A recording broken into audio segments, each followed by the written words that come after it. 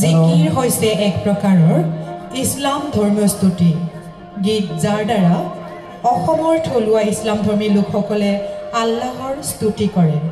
আহকচোন এইবাৰ আমি আব্দুল ৰহিম আৰু তেওঁৰ সংগীবৃন্দৰ পৰিৱেশন কৰা জিকিৰ গীতসমূহ আমি উপভোগ কৰোঁ। এয়া মঞ্চত আব্দুল ৰহিম আৰু তেওঁৰ সংগীবৃন্দই পৰিৱেশন কৰিব।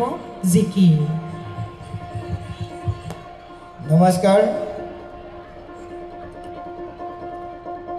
শ্ৰীমন্ত শংকৰদেৱ কলাক্ষেত্ৰৰ ৰামধেনু অনুষ্ঠানত উপস্থিত হোৱা সমূহ দৰ্শকসকললৈ আমাৰ দলটিৰ তৰফৰ পৰা নৱবৰ্ষৰ ওলগ যাচিছোঁ।